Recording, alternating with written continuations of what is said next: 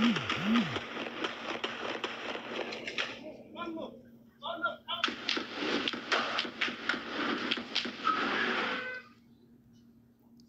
see, this is why we tell you, Jake got to be put down like the wild jigaboo that he is. You see that? You see that madness? We're going to play that one more time. You see, this why Yahweh Bashimi Hawashah is going to pretty much erase two-thirds of death. I mean, forgive me, two-thirds of Jake in a horrible manner. All right? All the things that are going on, this is what Jake is doing out here. All right?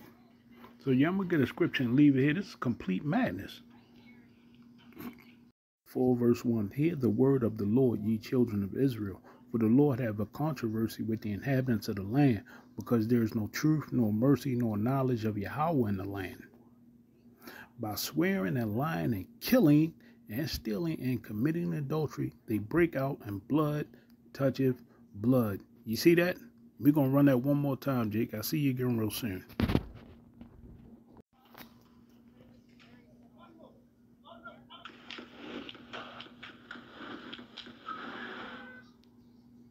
Shalom, Jake.